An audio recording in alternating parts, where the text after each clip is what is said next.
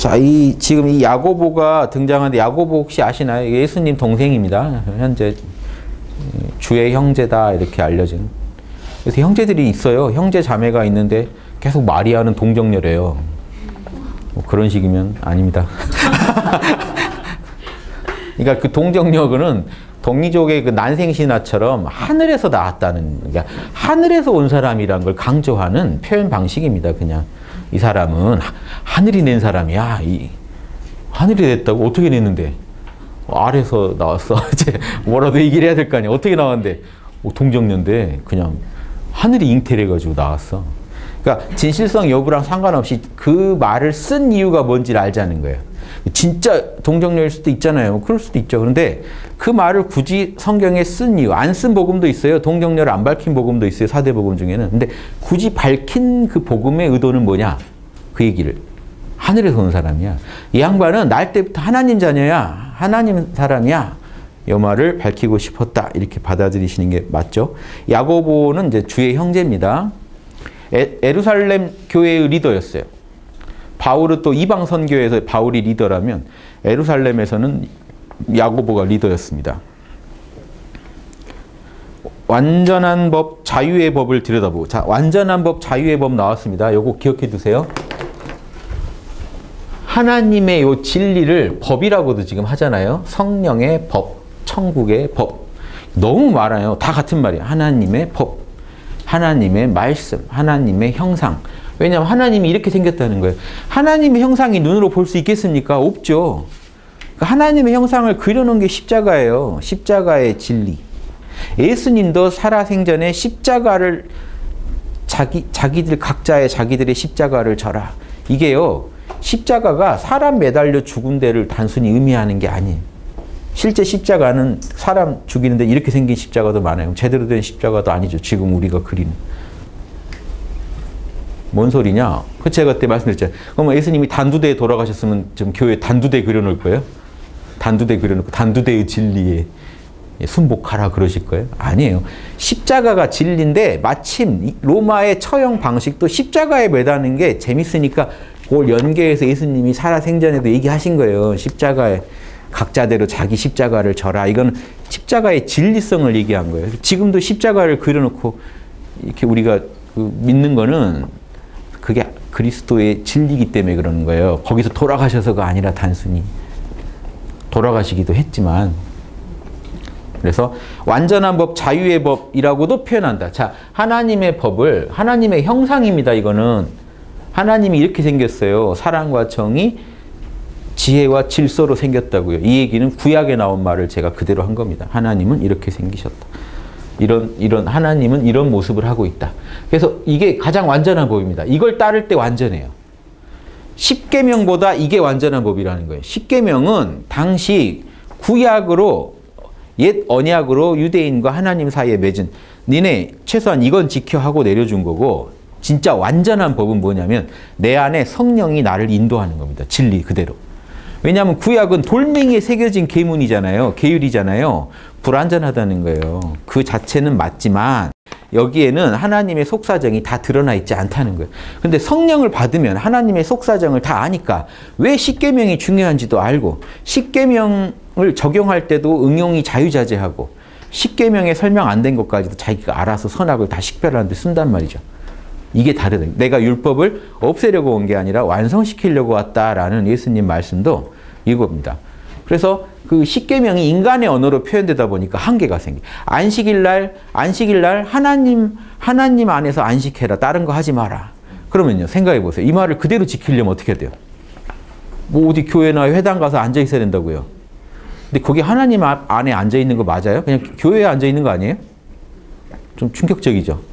아무 일만 안 하고 있으면 하나님 안에서 안식하고 있는 거예요?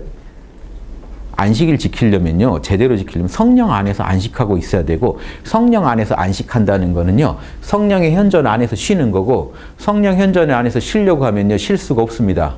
불행하게도. 여기 안식하시는 순간 성령의 지혜가 오고 계시가 와서 자명하게 살려라 해서 살려야 돼요. 예수님은 성령에 안식했기 때문에 안식일 날도 제대로 안식일 지킨 분은 예수님이에요. 성령의 안식을 해버리니까 사람을 살려라 해서 사람 고쳐줬더니 바리새인들이 율법학자들이 뛰어와가지고 너 아웃 방금 율법 어김 십계명 그것도 안식일 날 움직이지 마라 그랬는데 십계명을 너가 위반해? 이렇게 서로 입장이 달라져 버려. 제가 말씀드린 대로 해야만 율법이 완성되지. 그러니까 니네는 율법의 한 조각 붙잡고 그거 지키면 천국 간다고 믿고 있는데 미안하지만 그런 식으로는 절대 구원은 이루어지지 않아. 성령 안에서만 이루어져. 이번 스타워즈 영화 아 이게 스포일러가 될 수도 있나? 아주 뭐 미미한 얘기입니다. 스타워즈 영화에서 제가 재밌게 본 저는 이제 포스 나오면 일단 재밌어 하거든요. 포스가 성령이거든요. 그런데 어때요? 스타워즈를 보면 이, 요, 요 후반부 작품들을 보면요. 제다이만의 특권을 자꾸 버리려는 내용이 나옵니다. 소수만이, 제다이만이 포스를 썼어요. 근데 요즘 나오는 스타 관련 영화들을 보면 일반인도 포스를 자각하는 듯한 내용으로 자꾸 끌고 가려고 합니다. 그래서 이번 영화도 보면 일반인이 포스를 자각한 feeling이 왔어. 느낌 왔어. 포스 나 제다이도 아니에요. 그냥 일반인인데 느낌 왔어 그러더라고요. 홍익학당에서 신사. 그 정도면 신사. 확신한다고 하더라고요. 영화에서 나 포스가 있다는 걸 확신했어. 제다이도 아닌데 제다이는 이제 정사 대사라면 왔어. 홍익학당에서 수사가 이제 파다완 정도 됩니다.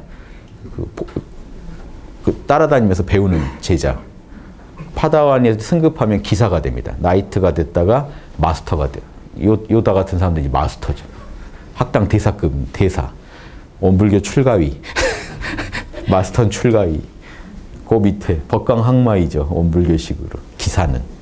그 아래는 이제 수사. 법마 상정급. 이거 왔다 갔다 해요. 이 사람들은. 그래서 배워야 되는 거예요. 근데 다, 어, 나 믿겠어 할 때가 있다고요. 확신해. 포스가 있다는 거 확신해. 근데 그 제가 이 영화를 제 나름대로 재밌게 보는 방식은 저게 구약에서 신약으로 가는 내용이에요. 구약은 소수의 예언자들만 성령을 받습니다. 그걸로 사람도 살리고 지금 제다이들 다 하는 거예요. 포스 가지고 사람도 살려요. 성령 받아서 사람도 살리고 별짓 다 했어요. 엘리야, 엘리사. 하늘로 그대로 올라 승천해 버리기도 하고 엘리야, 엘리야 같은 경우 살아서 그대로 승천해 버리 우화 등선을 해 버렸습니다. 포스로 살아가던 소수 예언자들. 신약은 뭔지 아세요? 구약은 소수만이 성령을 받고 다수는 율법을 지키는 것에 올인하는 시대. 즉 주어진 계율만 지키고 소수만이 성령을 받아서 마스터가 될 수 있는 시대였다면 신약은 뭘까요? 이건 구약에 예언된 거예요. 신약은 소수의 마, 이제 소수의 마스터가 아니라 누구의 누구의 남녀노소 누구나 성령 받아버리는 시대라는 거예요. 누구나 인류가 다 포스를 받아버리면 제다이에서의 새, 새 시대죠. 그 개벽이죠. 지상 천국이 오는.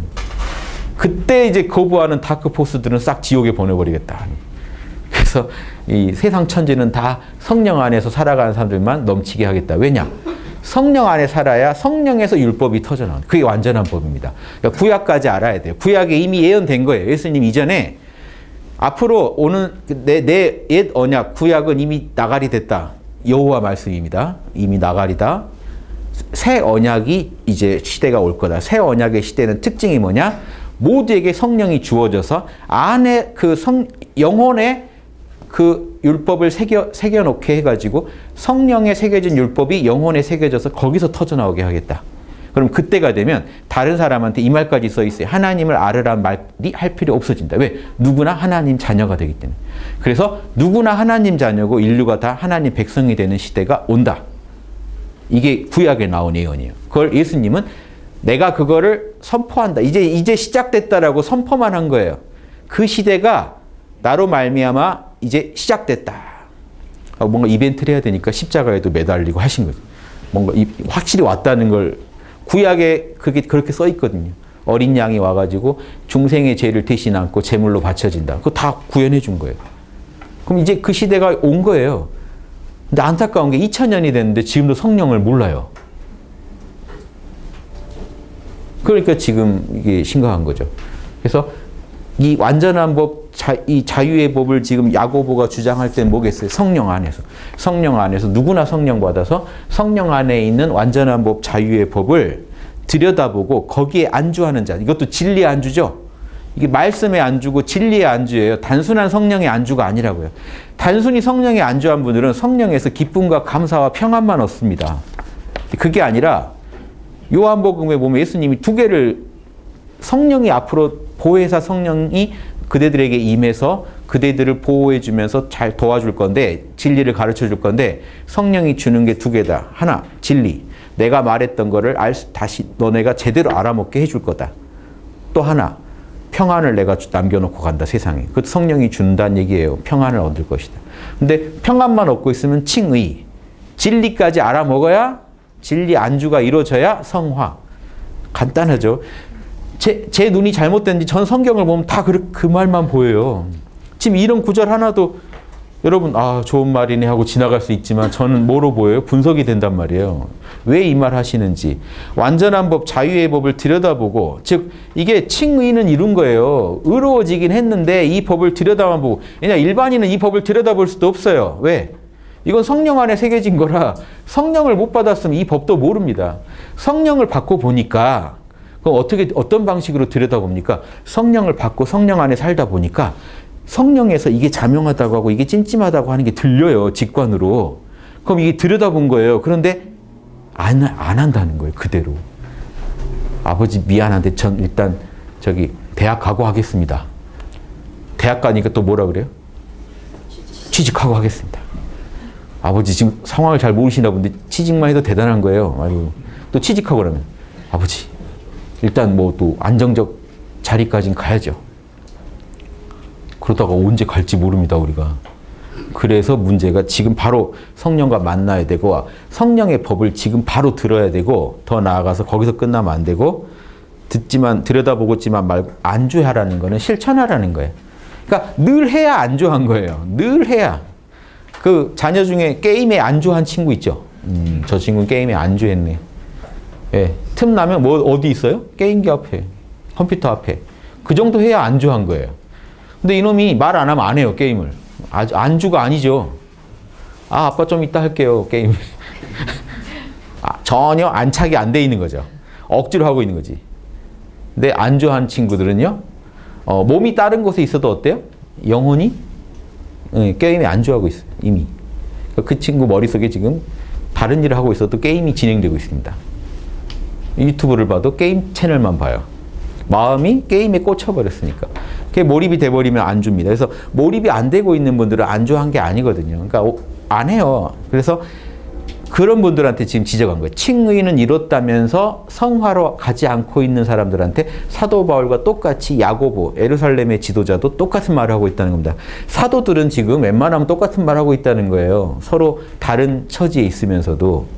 그 이런 똑같은 점을 찾아내야 성령의 말씀을 들을 수 있습니다. 사도들마다 개성이 다르고 입장이 다르고 처지가 다른데 그 안에서 공통의 소리가 나온다면 심지어 예수님 예수님의 형제이자 예수님한테 직접 배운 야고보랑 예수님을 본 적이 없는 사도 바울이 똑같은 소리를 한다면 신기한 거 아닌가요? 그 부분을 주목해야 됩니다. 거기에 답이 있거든요. 그럼 우리가 성령의 소리를 들을 수가 있는 거예요. 2000년 전에 지구에서 울렸던 성령의 소리를 지금 우리가 들을 수가 있습니다. 사도들의 말씀과 예수님 말씀을 잘 충돌시켜 보면 나와요. 자, 그 말씀을 듣고 잊어버린 자가 아니라 실천으로 옮기는 자가 되어야 한다. 진짜 안주한 자는 실천한다. 같은 말이고요. 그들은 그들의 실천으로 축복받을 것이다. 믿음으로 구원받는다는 사람들이 그 당시 많았겠죠. 저 믿었고요. 믿으니까 성령 받았어요. 믿고 성령 받았으면 된 거 아닌가요? 믿음으로 이미 구원받은 거 아닌가요? 그러니까 야고보가 뭐라 그래요? 그럼 해봐라 이거예요. 해봐. 선을 해봐. 악을 하지 말아봐. 근데 악은 하고 있고 선은 안 하고 있다면 너네는 예정 구원된 자가 아니고 믿는 자도 아니요 예정된 자도 아니다 이겁니다. 이런 강의는 따로 많으니까 또 참고해 보시고요. 자, 6번 각주요. 6번 이 이글 전체 전체에 대한 각주 한번 볼까요? 여러분 형제들이여 내가 오늘까지 양심을 온전히 따르며 하나님을 섬겼습니다. 여러분 뭘 배양해야 돼요? 양심, 속사람을 배양해야 돼요. 속사람. 속사람이 강건해지게 만드는 게 60배, 120배의 열매를 얻는 겁니다. 사도행전의 이 말이 너무 똑같죠?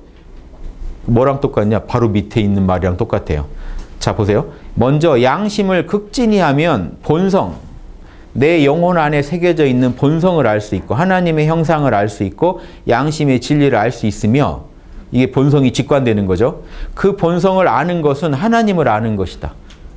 보세요. 양심 양심의 양심의 그 뿌리를 캔 사람은 보세요. 밖으로 속 사람이 속 사람이 작동하는데 이 양심을 극진히 한다는 거예요. 이 양심이 어디서 나온지 근원을 꿰뚫어 본 사람은 그게 영에서 나오는 거 알고 알죠. 그럼 영에 뭐가 새겨져 있어요? 내 영에 영은 내 혼의 뿌리란 점에서는 영이죠. 그러니까 내 혼의 뿌리인 영, 영에 뭐가 새겨져 있어요? 양심의 진리, 사랑의 진리가요.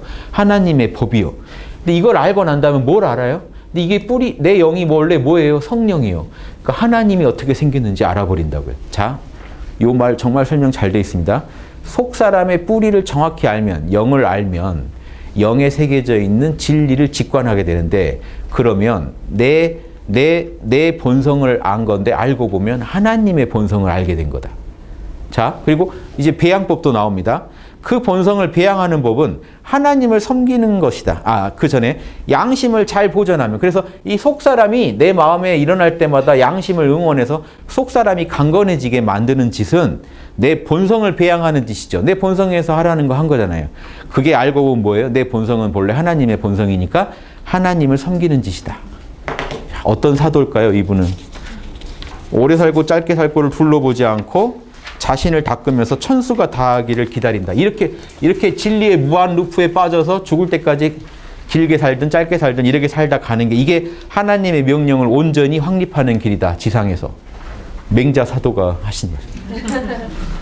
이거 앞에만 딱 써놓으면 교회에서 어이구, 어이구 훌륭하신 어디 야고보서나 어디 그쯤에 있겠네. 맹자에 있는 말이에요.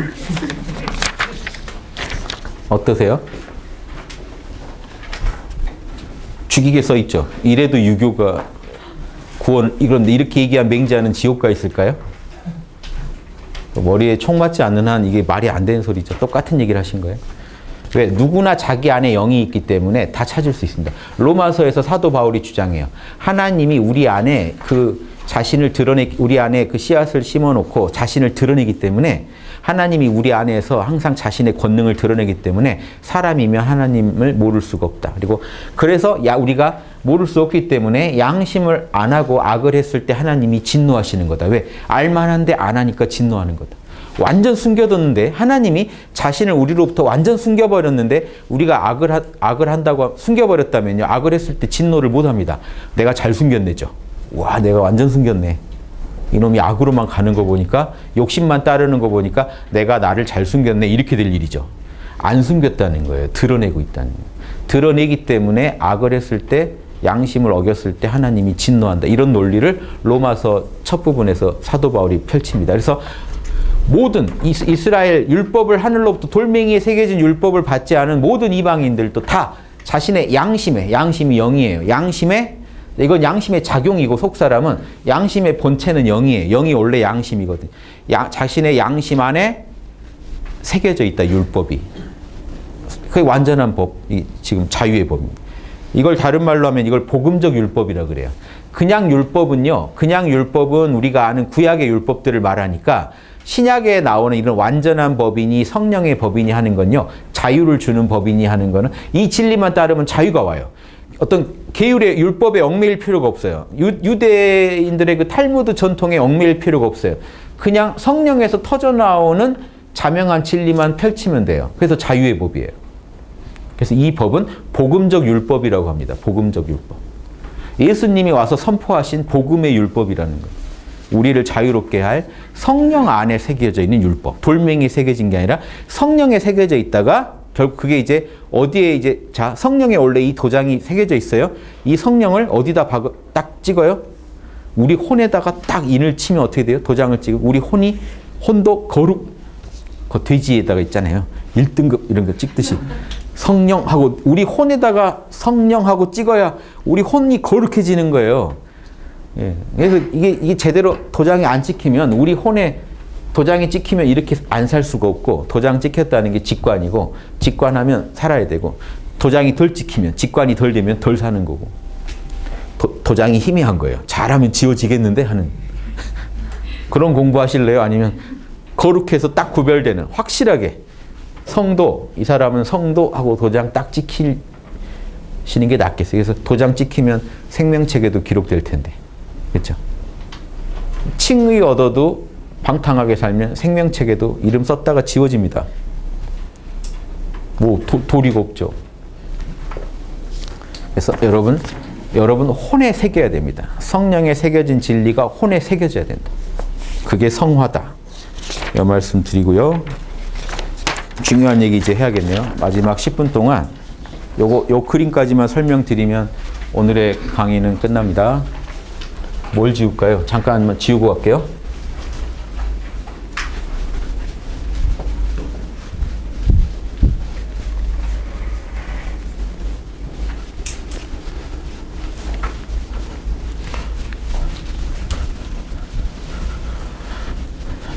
마지막 10분 중요하니까 잘.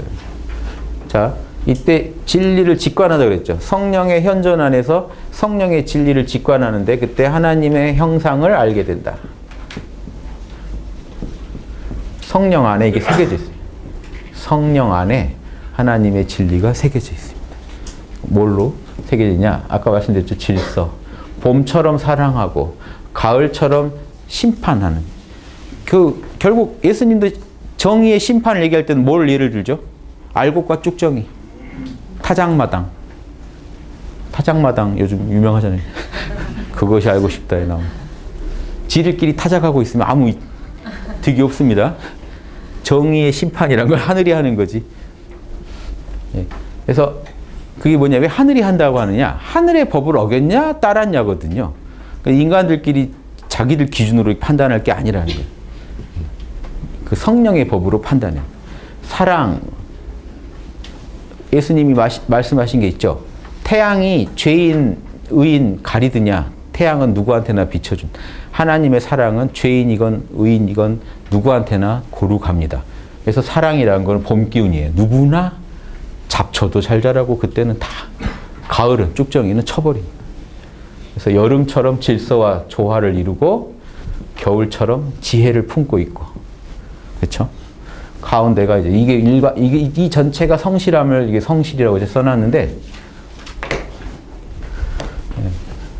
이 전체가 사실은 예, 성령이니까 예, 성령이니까 성실 써도 되지만 이 가운데다가 성령 써도 돼요. 성령이 이, 이 말씀들을 성령이 이 말씀들을 품고 있 다라는 형상으로 그려도 좋습니다. 성령이 진리들을 품고 있다. 그래서 진리의 영이다. 진리를 직관하고 있는 영이에요. 성령은 진리의 영인데, 자, 이렇게, 이렇게 풀 수 있어요. 진리를, 어때요?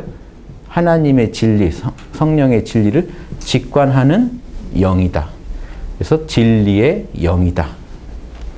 진리를 품고 있다는 걸 어떤 방식으로 품느냐? 직관하고 있는 방식으로 풀어요.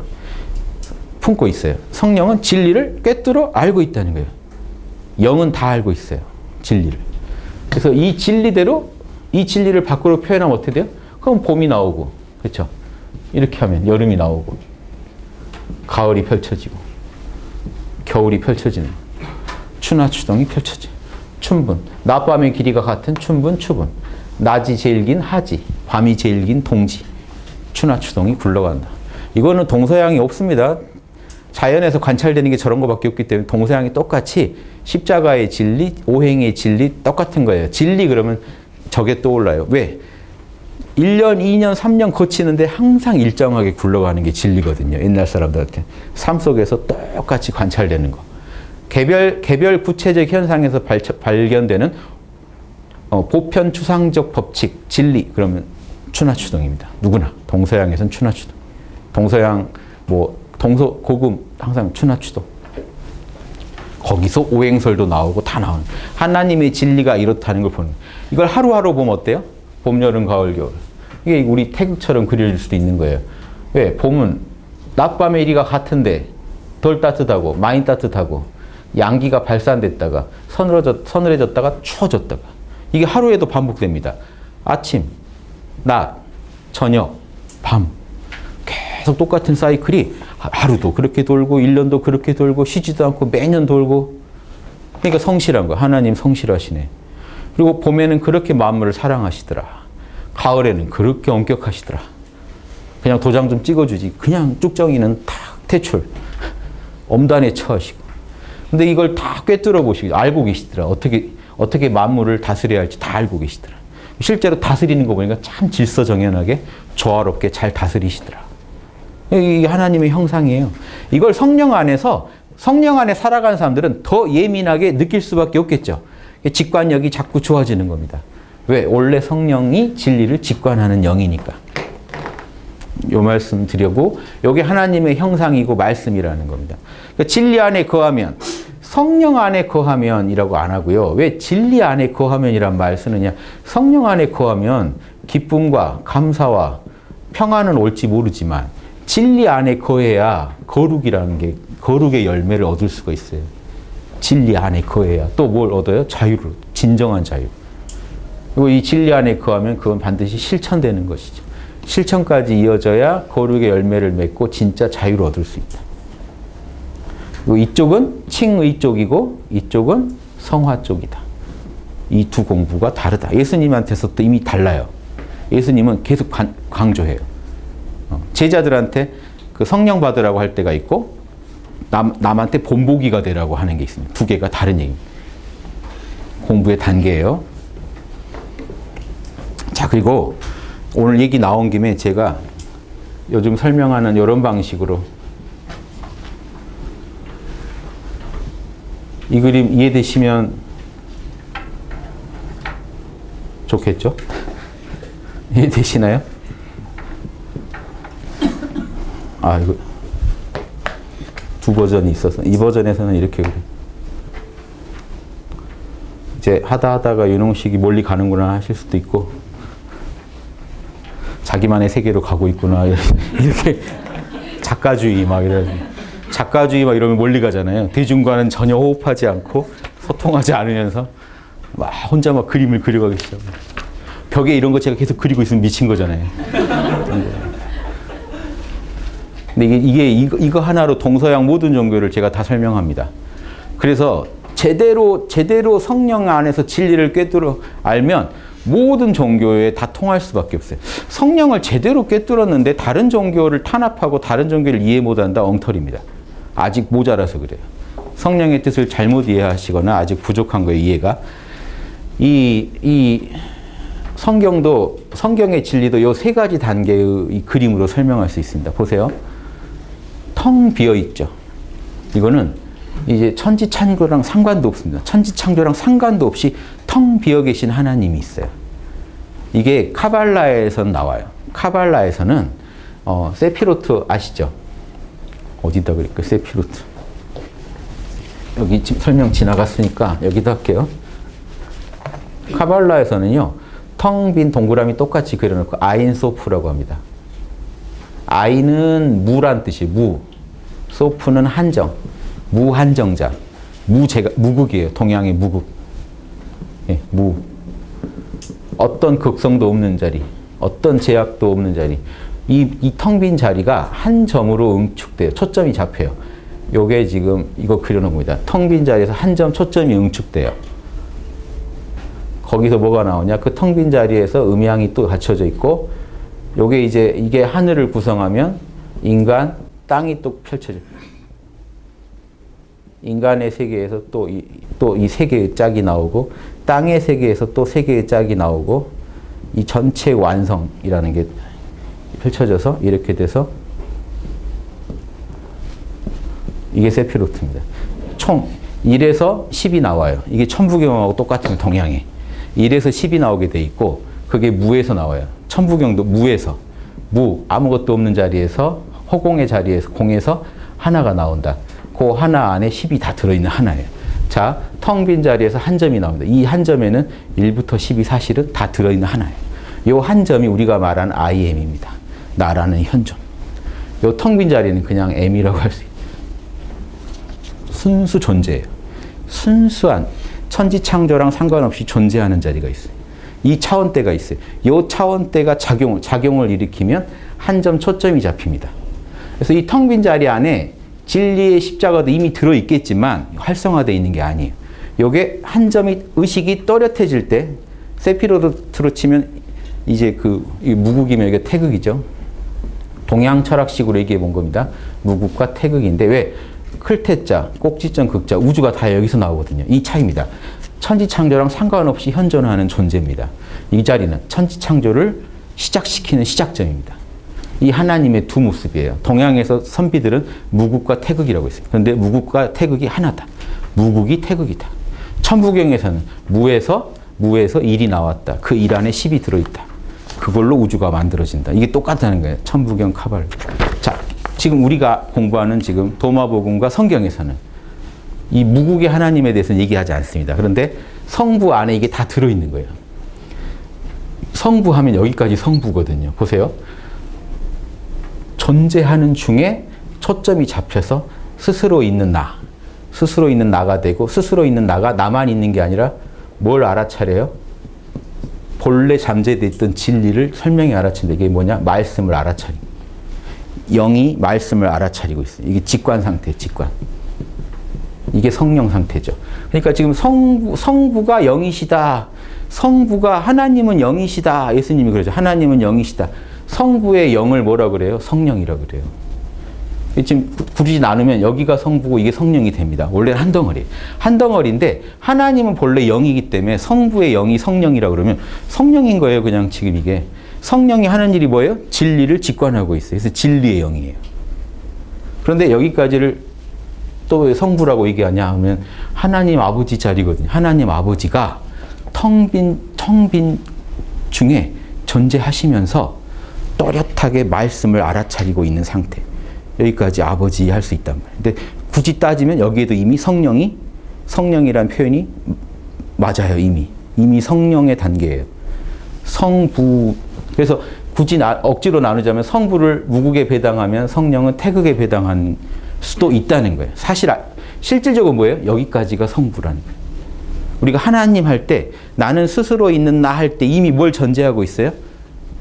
창조 이전의 하나님인 순수한 존재, 아인소프 상태를 전제하고 그 상태에서 초점이 맞춰져서 진리, 진리를 품고 있다. 말씀이 뭐냐? 이 세피로드 전체가 말씀이에요. 하나님의.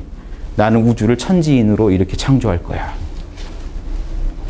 말씀을 다르게 그리면 이렇게 그릴 수도 있어요. 있을. 오늘 토요일이라 제가 이렇게 시내 관통에서 여기까지 오는데 이거 많이 들고 계시더라고요. 네. 재밌죠? 태극기랑 성조기랑 이스라엘 국기를 듭니다. 세 개를. 세 개를 나란히 붙여서 들고 계신 분 많아요. 그 국기를 보고 저는 이 수화의 비밀을 풀으셨으면 좋겠어요. 위로 타오르는 불과 아래로 향하는 물. 음양의 비밀을, 음양이 저, 최대한 조화된 상태를 그리는 거 이게, 이게 불이죠. 불과 물로 거듭나라가 이거예요.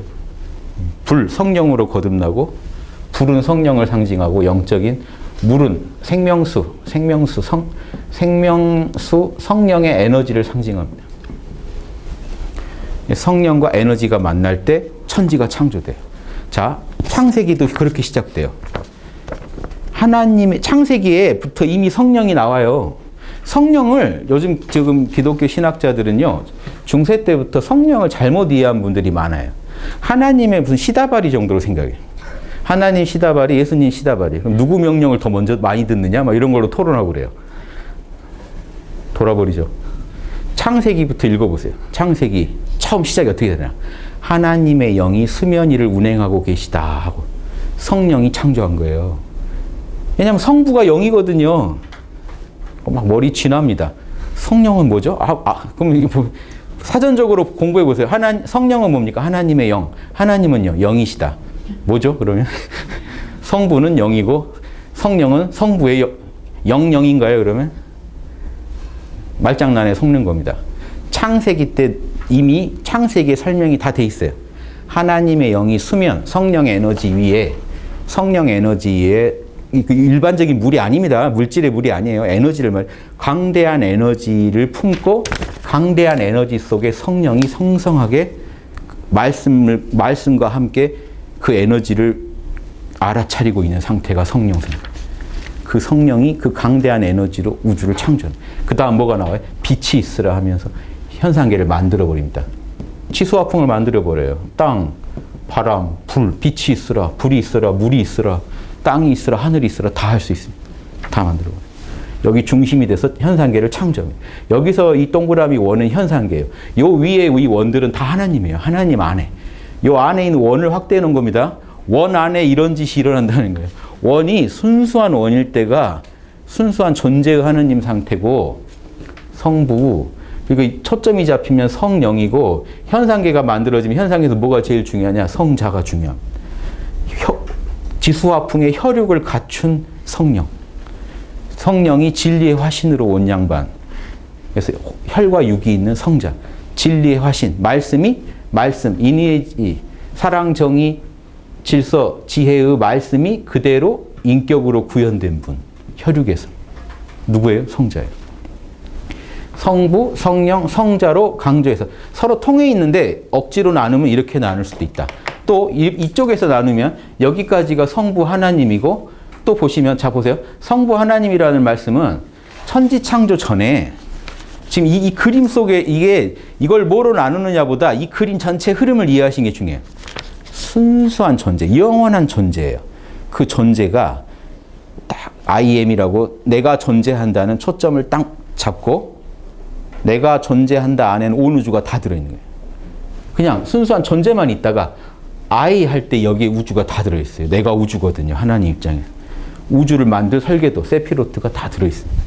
이 안에. 하나가 있으면 10도 이미 들어있는 거예요. 이때 하나가 선포된 거예요. 오로지 하나로 있다 하면 그 안에 열이 다 들어있는 거예요. 우주 만상이 다 들어있어요. 우주 만상을 어떻게 품고 있냐? 말씀으로 품고 있어요. 자, 아직 창조가 된 건 아니죠. 창조의 주체는 맞는데 창조를 하고 있는 모습을 그린 건 아니죠. 텅 비어 있는데 스스로 현존하고 있다라고까지만 말하면 성부 하나님이라고 표현하는 게 맞다. 그런데 이분은 존재의 하나님이다. 존재하면서 사실은 말씀을 품고 있다. 그런데 이 말씀이 이 영이 영이 보세요. 영이 초점을 잡고 말씀을 파악하고 있, 으면서 그대로 현상계에서 구현하고 있다 그러면 이렇게 그리면 어떻게 될까요? 그럼 성령이라고 하는 게 더 맞습니다. 성부 하느님이 작용을 하면 성령이 돼요. 다 영이에요, 실제로는. 그러니까 본체와 작용으로 얘기를 해야지, 영은 다 영이에요. 성부 하나님이 우주에 딱 초점을 잡고 있다가 말씀을 품고 있는 거기까지만 중심으로 얘기하면 우주의 제일 아버지, 우주의 근원, 모든 존재의 근원이시구나라고 하는 게 맞고, 그렇죠? 맞고, 그, 영, 그 초점이 현상계, 지금 보세요. 이 초점이 이 두 그림이 의미하는 바가 다릅니다. 이 중간지대가 의미하는 게 텅 빈 중에 또렷이 알아차리면서 존재하고 있다는 걸 강조한 거고 이 그림은요. 이렇게 그리면 어떻게 돼요?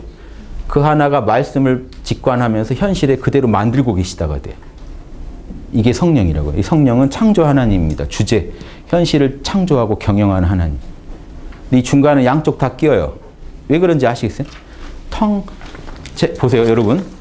성령의 현존 상태에 들어가 보면 텅 비고 시공도 없고 생각 감정도 없고 시공도 없는 중에 또렷하게 알아차리는 의식, 영만 있어가지고 나의 현존만 있어서 진리를 직관하고 있는 상태가 성령의 현존이죠.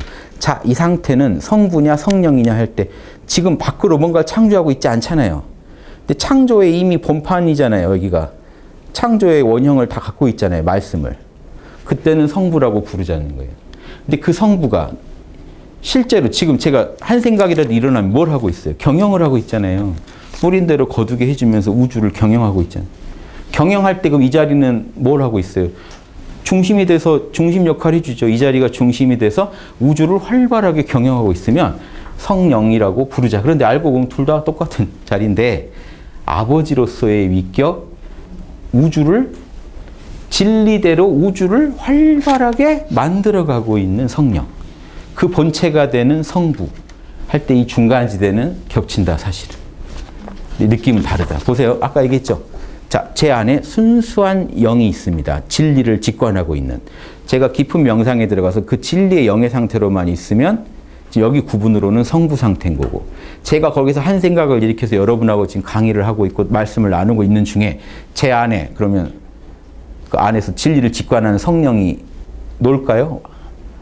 아니요. 그 진리를 직관한 걸 가지고 지금 말로 표현하고 있는 거예요. 그렇죠? 그러니까 이 자리가 현상계를 경영하고 있으면 성령. 원래 성령 자리예요. 이 자리가 이 자리를 현상계를 경영하는 자리로 해서 분리해 가지고 순수한 우주의 근원이라고 설명할 때는 성부라는 거예요. 성부와 성령을 이렇게도 나눌 수 있습니다. 좀 어려우신가요? 그 이거 이해하면 이해하시면은 칭의 성화의 경지에 가셔야 제대로 이해가 되실 겁니다. 그러니까 이게 이게 영적 비밀이 근데 이게 다예요. 여기 뭐 그림 더 안 붙여도 이게 다니까 지금 성부, 성자, 성령이 어떤 모습을 갖고 있구나. 이거 전반적으로 이해하시는 데 도움되면 좋겠고 요한복음 볼까요? 요한복음에서 이렇게 얘기해요. 태초에 로고스가 있었다. 말씀이 계셨다. 요 십자가의 진리가 뭔 진리가 태초에 창조 그 그 이 태초 창조 이전에 이미 이게 있었다는 거예요. 있었다. 누구랑 있었어요? 하나님과 함께 있었다. 그럼 그 하나님의 영이랑 함께 있습니다. 성령과 함께 누가 있었어요? 말씀이. 그 말씀이 예수님이라는 거예요. 터무니없죠. 근데 이치는 맞죠. 보세요. 태초에 말씀이 있었고 그 말씀이 하나님과 함께 계셔서 이 말씀을 통하지 않고 창조된 게 없다. 맞죠? 요한복음에 정확하게 써놓은 거예요. 다만 그 말씀이 그리스도시다 그러면 약간 힘들어지죠. 어, 예수님이 왜 갑자기 거기 끼지? 왜 그런지 아세요? 성자가 진리의 화신이죠. 자, 속에 이걸 그대로 그리면 이거잖아요. 요 속에 또 뭐가 있어요? 이게 말씀이 속에 있다가 밖으로 선포된 게 온전히 선포된 게 성자예요. 그 성자를 뭐라 그래요? 성육신. 말씀이 말씀이 육신이 되셨네. 말씀 육신이에요. 그러니까 말씀 육신이니까 어 그래 그럼 그리스도가 말씀 육신이니까 지금 하나님 안에 뭐가 있어요? 말씀이 있네. 여기 계셨네 그리스도가. 이게 성자가 됩니다. 그래서 성부, 성자, 성령이 또 이렇게 됩니다. 여기까지 성부, 여기서 말씀만 성자, 그리고 이 성령의 작용을 성령이라고. 이 성령이기도 한 이 하나님 우주 존재의 근원 자리를 존재의 근원을 존재의 하나님, 본질의 말씀이 우주 만물의 본질이니까 본질의 하나님, 우주의 주제의 하나님, 우주의 역사하신 하나님 해서 삼위일체론이 중세 때 만들어집니다. 저런 논리로. 이해되세요? 이게 중세 모든 삼위일체론도 다 꿰뚫으면서 또 다른 식의 삼위일체론도 이해해 보는 거예요.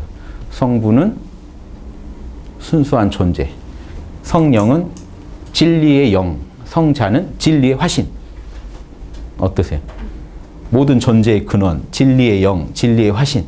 그 성령의 이상을 정확히 안 잡아주면 개판이 돼요.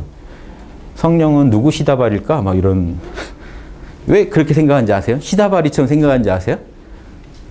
예수님의 진리를 구현해 준 게 성령이더라는 거예요. 하나님의 하나님 하나님의 영이 또 성령이에요. 그럼 성령은 그리스도의 영이야? 하나님의 영이야? 이 논쟁이 붙습니다. 또 빠질 만한 함정에 인류는 다 빠져요. 이제 함정이 안 빠지고 봐보세요. 뭐예요? 하나님은 원래 영이에요. 성령이 성부예요, 사실은. 그 성령이 활발하게 우주를 창조하고 경영하는 데 관여할 때 성, 성령이라고 하고 우주의 근원으로서 자리매김할 때 성부라고 한다는 이해되시죠? 좀 하나 더 보태려고 했는데 위험해서 겨우 지금 기분 좋은데 딱 하나 더 보태면 성부 성령을 또 이렇게도 나눌 수 있습니다.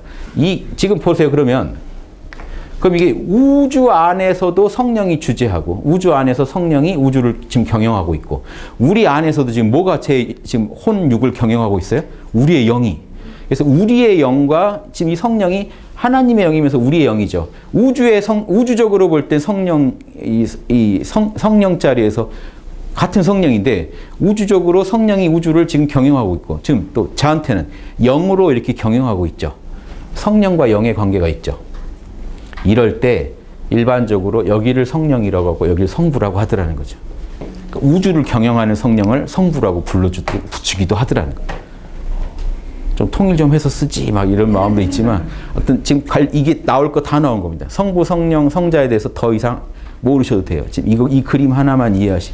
이 그림 자체를 이해하시는 게 중요해요. 이걸 이해하면 얼마든지 여러분이 응용을 할 수가 있어요. 이걸 모르면 이제 또 외워야 돼요. 존재. 그 다음 뭐였는데? 존재, 빈칸 쳐놓으면 존재, 본질, 주제. 헷갈리신다고. 그림을 이해하시면 자, 여러분 안에도 그러니까 성부 하나님이 들어있어요.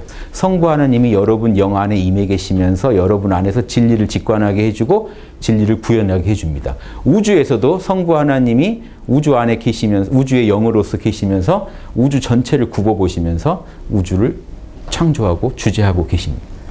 이럴 때 우주 하나님을 성부, 내 안에 계신 하나님을 성령 이렇게도 부르더라는 거죠. 그럼 성령이 결국 뭐예요? 하나님의 영. 그럼 내 안에 누가 계세요? 하나님이. 이렇게도 얘기할 수 있고 하나님의 영이 수면 위를 운행하더라 하면 결국 뭐예요? 창조의 주체는 하나님의 영이에요. 성령이 창조했다는 거예요. 성령이 진리를 품고 창조했다. 그 진리를 그리스도다라고 또 주장할 수도 있더라. 사도들이. 예수님은 그런 주장 안 했습니다. 그런데 사도들이 볼 때 예수님은 진리의 화신이니까 사랑의 진리가 육신을 혼육을 입은 게 예수님이에요. 그러니까 예수님의 본체는 뭐예요? 불교식으로 말하면 예수님의 법신은 뭐예요? 진리. 그럼 진리는 원래 어디 있어요? 성령 안에. 진리로. 그러니까 하나님의 영이랑 애초에 우주 천지가 창조될 때 하나님의 영이랑 말씀이랑 합쳐서 창조된 거잖아요. 하나, 야, 거기서 무릎을 딱 치는 거죠. 사도가. 예수님이 창조하셨네, 우주를. 그래서 사도들의 글에는 천지 창조를 우주, 한, 예수님이 했다고 나와요. 그 이유 아시겠어요? 그 논리의 흐름? 왜 그러냐? 예수님은 진리의 화신이니까. 그러면 성령 안에 계셨던 진리가 예수님의 본체 아니냐? 그렇네, 이거예요. 그러면 천지 창조할 때 진리가 없이 창조가 돼, 영만으로? 그럴 리가. 그러면 누가 창조했어요, 우주를? 예수님이. 됐죠? 저는 이렇게 잘못된 경로도 다 추적합니다. 어디서 삐끗했는가? 그럼 거기서 또 취할 게 나와요. 그러면 자명하다. 그러면 이 말을 자명하다고 저는 우기려면요. 마찬가지예요. 우리도 진리의 화신이 되면 여러분이 천지창조한 주체가 될 수도 있다는 겁니다. 왜? 여러분은 사랑의 진리의 화신이니까. 그 사랑의 진리가 하나님 안에 말씀으로 있다가 우주가 나왔으니 여러분이 우주를 창조하신 것도 되는 거죠. 이렇게 인정할 바, 인정할 거 아니면 예수님만 너무 과하게 밀어붙이지 말라. 왜? 우리는 도마복음에 나오죠. 시작부터. 우리는 예수님 쌍둥이니까. 너무 한쪽만 몰아주면 다른 형제가 상처받는다. 아시겠죠? 한쪽만. 딱 느낌 오시죠, 이제? 그래서 성부, 성령, 성자. 이거 다른 관점입니다. 이거는 성령이라는 관점입니다. 이 자체가 성령이라는 관점에서 그럼 그 근원을 성부라고 하고 그 본체, 성령의 본체를 성부라고 하고 성령의 인간적인 작용을 성자라고 하자 이 소리고 여기는 그게 아니라 우주 만물의 가장 근원의 성부, 아버지가 있고 그 아버지의 작용으로 본체와 작용 관계예요. 본체가 작용으로 우주를 창조하더라. 근데 작용하고 있는 중에도 본체는 항상 똑같으니까 불변하니까 성부 성령으로 우주가 존재하고 굴러가는 걸 다 설명할 수 있고 성자가 여기에 꼽사리로 낍니다. 사도들이 넣어준 거죠. 말씀을 성자라고 밀어붙이면서. 그러면 이제 딱 나눠지죠. 이게 중세, 중세식 삼일체예요. 존재의 하나님, 본질의 하나님, 역사의 하나님, 역사의 하나님. 주제의 하나님보다 역사의 하나님이 좋겠네요. 바꾸겠습니다. 역사. 이게 좀 기독교 분들은 아시겠죠? 역사한다. 하나님이 역사한다. 그 역사의 하나님. 그러니까 역사를 성령이 한다니까 시다발인 줄 아는 거예요. 그래? 예수님 말씀 잘 들어, 성령? 뭐 이런 느낌인 거예요. 이해, 이해되시죠? 이게 좀 이상한 거죠. 이해는 되지만 약간 좀 탈선했구나 아시겠죠? 이해는 되지만 그건 아닌 것 같다 하는 느낌 가지시면 오늘 이, 해잘 하신 겁니다. 마치겠습니다. 음.